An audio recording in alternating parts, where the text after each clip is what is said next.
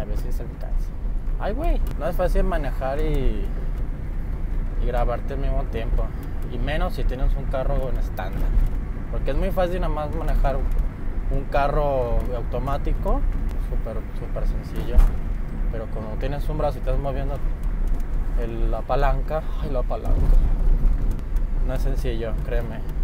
Luego está checando si está bien el celular, si está bien la toma. Hoy es domingo, un día de flojera en Guadalajara.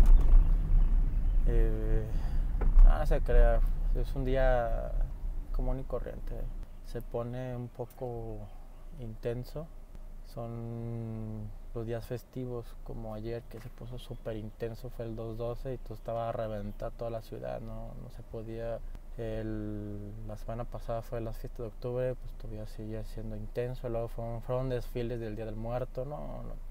Ahorita ya es un día tranquilo. De hecho, no se llena cuando juega la Chivas o el Atlas. Pobrecitos. Pues decidí grabar un día como un.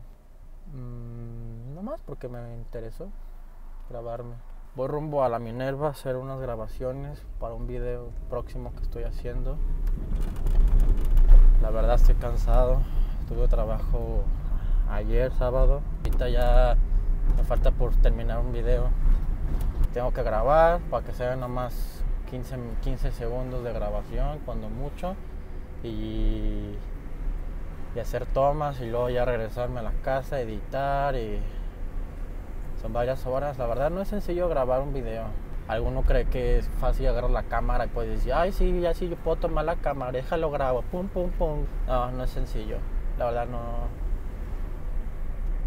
Tienes que estudiar o tienes que practicar mucho para hacer unas buenas tomas o ver muchos videos de, de referencias para poder hacer unas buenas tomas de video. Y claro, también tiene un buen equipo de video. Ah, bueno, hoy en día se puede grabar eh, en el celular. Súper fácil. Ya agarro el pinche celular y déjalo grabo. ¡Pup! Lo grabé. Ah, ya está. Ay, déjale cambio la resolución. Ti, ti, ti, ti, ti. Y la verdad no es cierto. Es. Yo recomiendo mejor usar una cámara y, y- y- explotarla. Yo conozco muchas personas, amigas, ex, que gastaron un chingo madral de dinero para las cámaras para nomás tomar fotitos bien X. Claro, yo respeto a los fotógrafos y a los que hacen videos que tienen cámaras profesionales, eso sí, pero hay gente que nomás tienen, compra la pinche cámara profesional para tomar tomarse fotos en el espejo o nomás grabar pura pendejada. el evento que fui ayer era mm, en un colegio alemán. Ya yo estaba tomando fotos, estaba platicando con el fotógrafo, hablábamos de, lentes. Ay, sí, de lentes. Ay, qué lente. Ay, que tu lente me gusta. Ay, ¿de, de cuánto es? De 30 milímetros. Ay, de 30 milímetros. Ay, y esta de qué es? Ay, 137. Ay, no. Y esta. ¿Y a qué resolución? Ay, no, pues demasiados píxeles. Ay, no, manéjame liso. Ay, sí, liso. Digo por la pendejada. Y haz de cuenta que, que ya estaba tomando fotos y todo eso. Y vi un, un niño gordito. Todo, mam- todo mamón. Esos pinches niños gorditos de que son bien sangrones y le dan todo. Y de repente el niño estaba así. Pero el morro parecía diva. El cabrón estaba tomando fotos. Así todo presumido.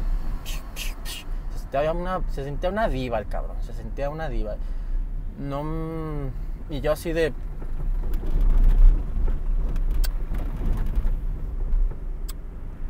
Tomándole, tomando fotos normales.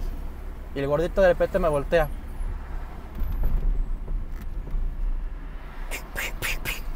También me estaba imitando. Yo me agacho y enfoco. Papá. Y el gordito también. Y yo volteo. Bueno, no volteo, sino Así, uh, así en el rabillo del ojo.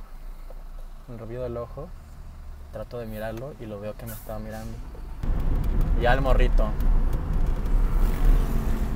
Como diva, entra al escenario, se sube y empieza a tomar fotos a, la a las bandas, al, a la cantante. Yo me empezó a reír. Se sintió competencia. Ya nada más le tomo fotos. Pues yo decido ser como una buena persona. Me acerco. Oye, tu cámara está muy padre, me gustó. Oye, estás usando como un estabilizador para el movimiento, ¿verdad? Y el mocoso. Sí, está, está muy bien. Y yo... Sí, eh, ¿puedo ver tu cámara, todo eso? No, es mía. Eh, yo más te digo un consejo, igual puedes tomar unas escenas, puedes hacer esto. Ah, ¿quién te preguntó?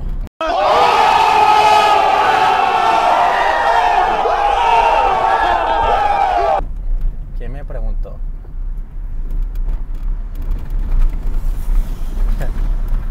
pinche mocoso, ya el pinche mocoso se larga. Está bien, está bien. Ya se me acerca el fotógrafo y me dice, chale, uno que intenta ser bueno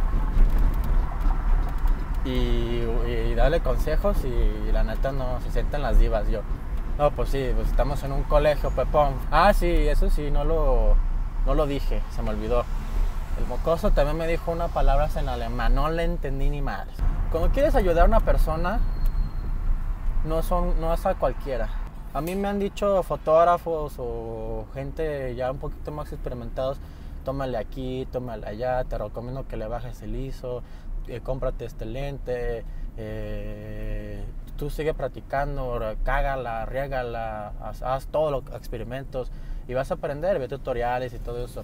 Y esos los consejos que me dan a mí son, son importantes pero hay ciertas personas que no lo, no lo toman bien el consejo. Y cuando yo veo a una persona que está batallando, yo decido ser muy buena onda y yo, ¿sabes qué? Yo no quiero ser presumido y, y yo te ayudo. Porque eso sí, en el ámbito del, del, diseño gráfico, la fotografía, todo lo que es así, estos, esos ámbitos, la gente es muy presumida, demasiado presumida. Entonces lo que yo quería decirles es eso, que el, no cualquiera toma un consejo bueno. Y bueno, pues yo ya me retiro. De hecho ya llegué al, a la Minerva, pues voy a hacer una sola toma que me va a tomar que unos 15 segundos. Tardé 14 minutos en llegar y nada más voy a hacer 20 segundos de video detrás de un trabajo. Uno no se da cuenta las horas de grabación, la dedicación, el tiempo, cuando tú ves un video y dura 5 minutos, 10 minutos, tú no sabes cuántas horas de grabación se tardaron en, hacerlo. Yo tengo un video que apenas llevo casi un mes y medio que no lo he terminado y son 10 minutos. Y bueno, ya me retiro. Más que comentarles eso. Se siente padre. Chao.